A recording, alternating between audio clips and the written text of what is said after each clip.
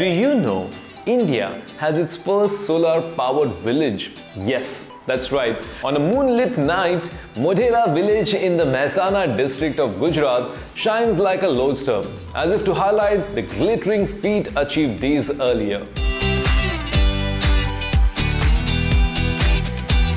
So today, let's talk a little more about India's first solar-powered village. Home to the iconic Sun Temple, Modhera was declared India's first solar-powered village by Prime Minister Narendra Modi in the poll-bound state recently. Armed with an array of solar panels spread across 30 acres in the nearby Sujanpura village, Modhera is now the recipient of its 6 megawatt install capacity.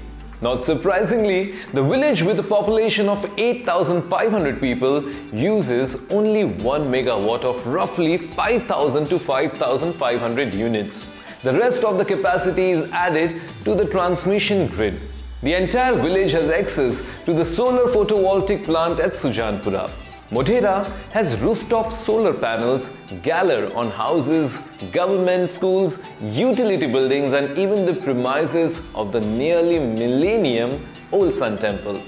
Modhera has 1,600 to 1,700 electrified houses and nearly 1,400 solar power connections.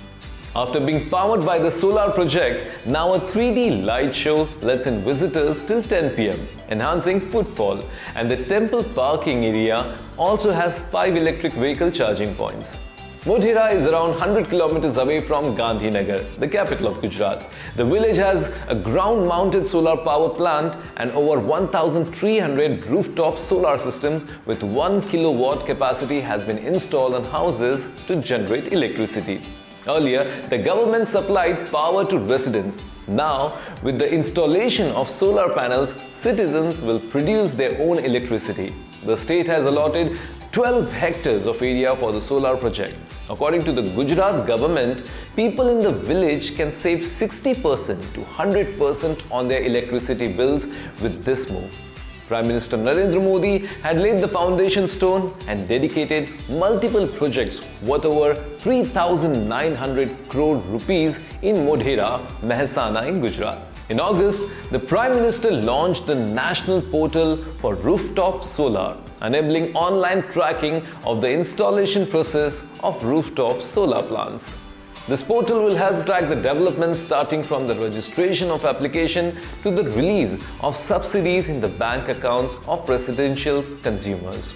The Gujarat government has said that it has ensured the sustainable implementation of various welfare projects in Gujarat, keeping in mind the Prime Minister's vision of increasing the use of renewable energy in India. During the day, Solar panels will provide power to the village, while in the evening, BESS, India's first grid-connected megawatt hour-scale battery energy storage system will provide power to the houses.